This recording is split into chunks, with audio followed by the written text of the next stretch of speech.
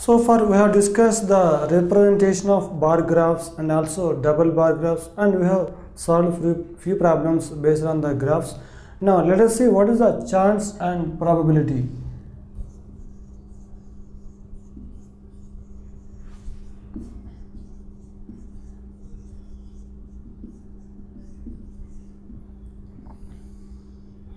Now there are some situations in our day-to-day life that some are certain to happen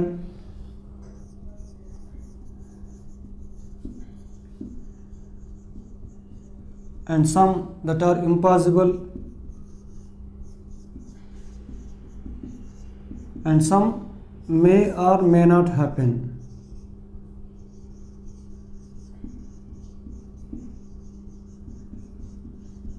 Now, so these are the three cases we face in our day-to-day life. Some situations are like that they are certain to ha- happen and some situations are like that they are impossible and some situations are that that may or may not happen. Now if you take the examples of these three situations for example the sun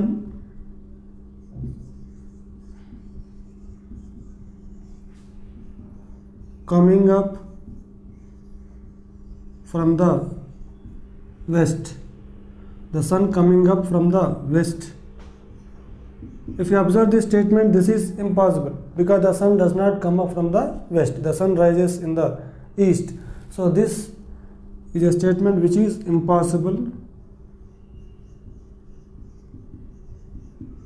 And if you take if we increase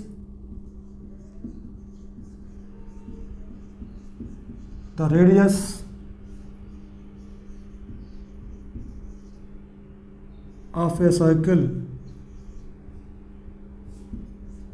its area increases.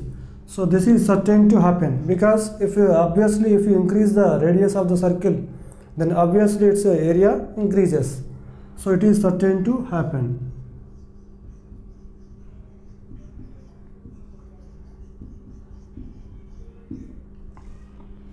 and winning of India win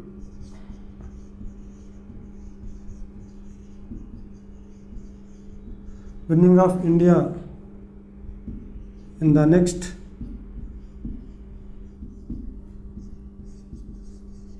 test series. So we cannot predict whether India will win the next test series or not.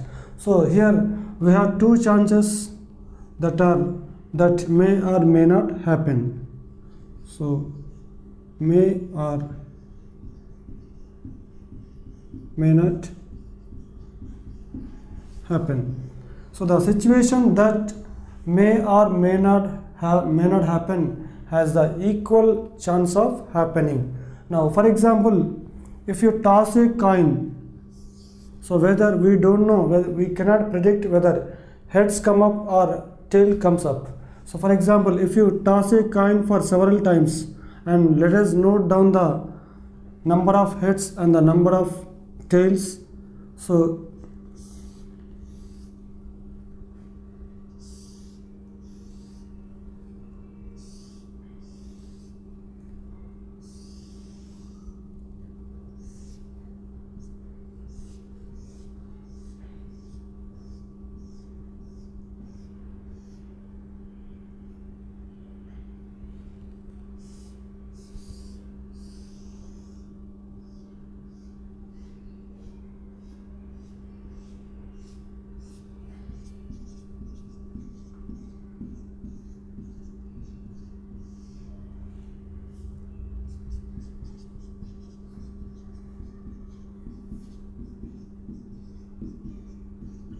Now, if you toss the coin for 20 times and note down the whether head comes up or tail comes up, then the first time when you toss the coin for the first time, then if the head comes up, then second time tail, head, head, tail, tail, again tail, tail, head, head, and eleventh time tail, head, head, head, head, then tail, tail, head, tail, head. So here we cannot find any particular pattern to predict whether the head comes up or tail comes up. But if you increase the number of tosses many times so if you increase the number of tosses many and many then both head and tail have the equal chances of coming up. So out of the two head and tail then both head and tail have the equal chances of coming up. So then these two are called equally likely chances. So the head and tail so these both are called equally likely chances. Now when you throw a die a die has six faces. On each face the number is written 1 2 3 up to 1 2 3 4 5 6 now if you throw a die so when whether 3 will come up or it shows 5 or it shows 3 it shows 2 we cannot predict.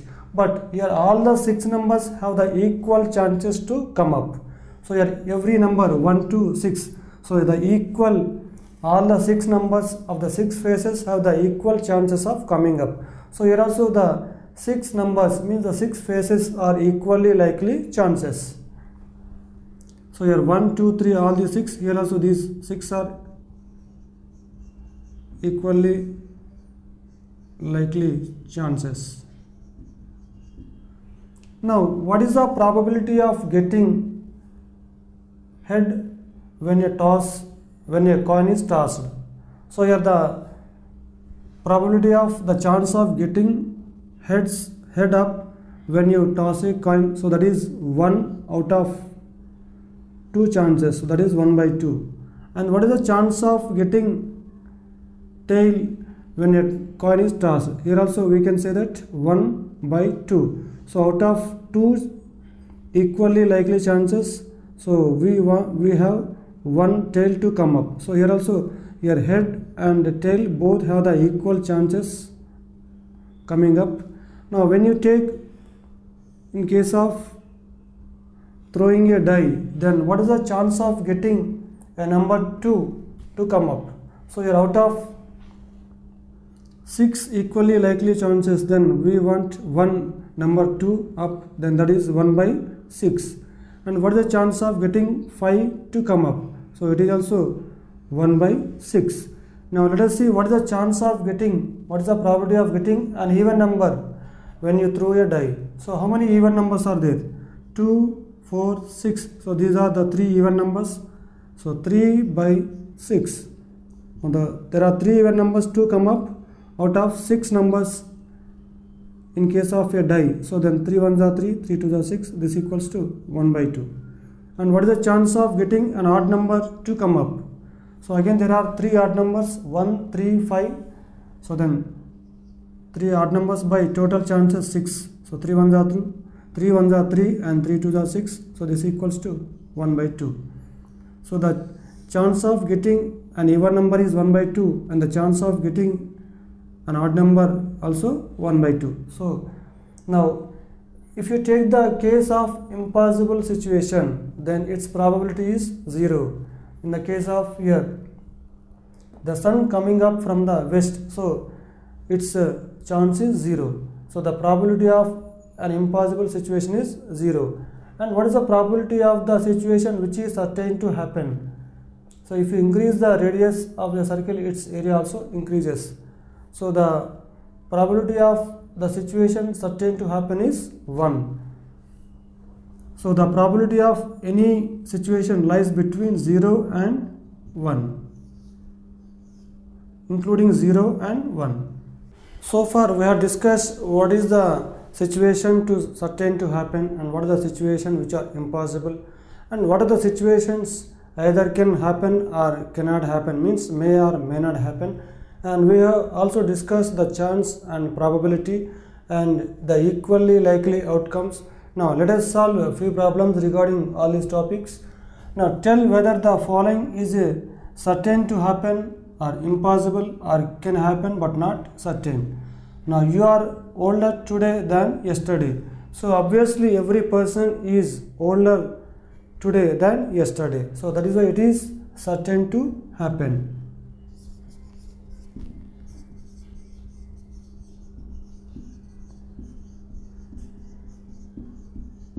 Now the second question, a tossed coin will land heads up.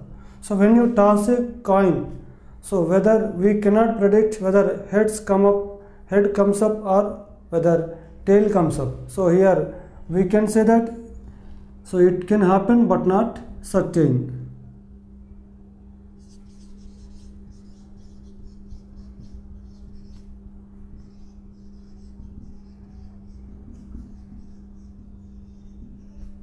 Next, a die when tossed shall land up with 8 on the top.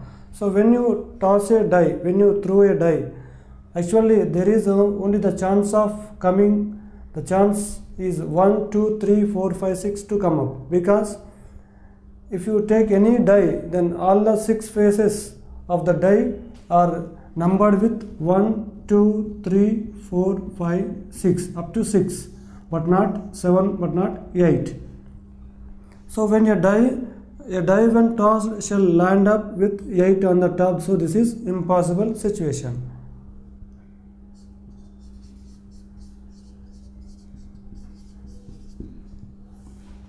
Now let us uh, now let us see the second question. There are six marbles in a box with numbers from 1 to 6 marked on each of them. So in a box there are six marbles and 1 to 6 numbers are written on each of the marble. Then what is the probability of drawing a marble with number 2? So how many marbles are there in the box with number 2? So that is 1. So 1 out of the total number of marbles is 6. So there are equally likely outcomes, the possible outcomes are 6. Then we have only one marble to take out with number 2. So to draw the marble with number 2, there is only one marble out of 6 marbles. So the probability, required probability is 1 by 6. Next, what is the probability of drawing a marble with number 5? So out of the 6 marbles in the box, how many marbles are there with number 5? So there is only one marble with number 5. So that is one marble. One chance of happening here out of 6 equally chances, equally likely chances, 6 because there are 6 marbles. So the answer is 1 by 6. If you like this video, please give a thumbs up. Please subscribe to our channel to get more videos on CBSE syllabus.